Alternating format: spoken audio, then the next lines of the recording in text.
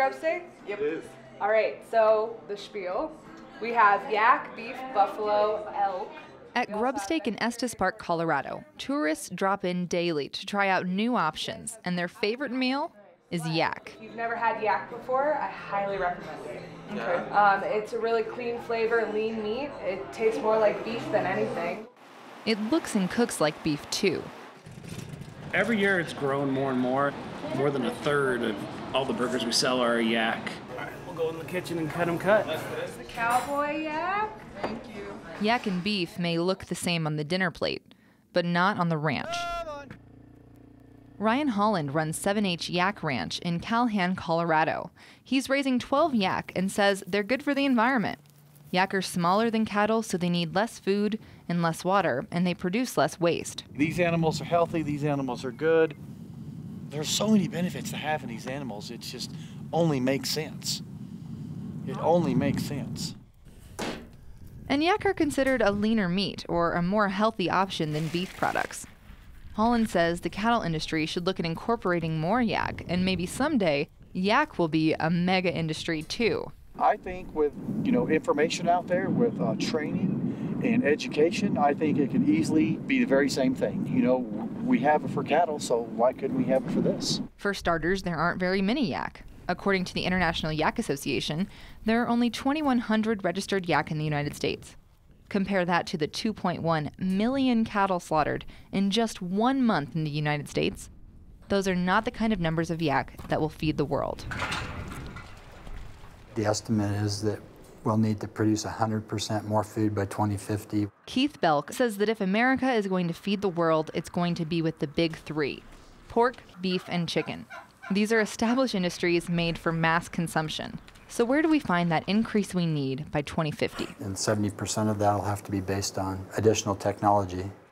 That's what researchers are working on at CSU. At the university's research ranch, Jesse French is a livestock manager, and he's breeding cattle that need less feed. Feed efficiency is, is, is really looking at the input side of things. So they might be able to grow to the exact same weight, but one did it with 20% less feed. In the university's test kitchen, So this isn't retail ready as it is. undergrads work with professors to reduce waste at the butcher floor. So we cut that and essentially have two halves. And over in the laboratory, CSU meat safety students are infecting meat with salmonella and then testing new methods to kill off the disease. It's an important aspect of the meat supply. In the last decade, U.S. producers had to destroy about 40 million pounds of recalled meat every year.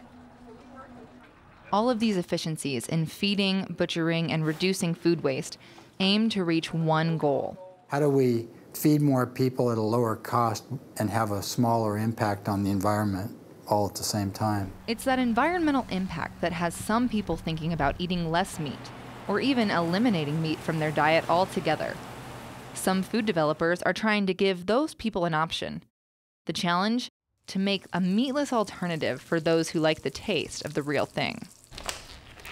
Devin Bruntz is the lead researcher in charge of developing Harmony Valley brand meat substitutes. We worked with a lot of different ingredients, a lot of different soy products, different ingredients that would add bite to it when you cooked it up to kind of really give you that feel of a cooked beef.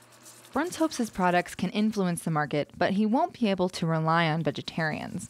Just 5% of Americans identified as vegetarian in a 2012 Gallup survey, and that number had hardly changed since the late 90s.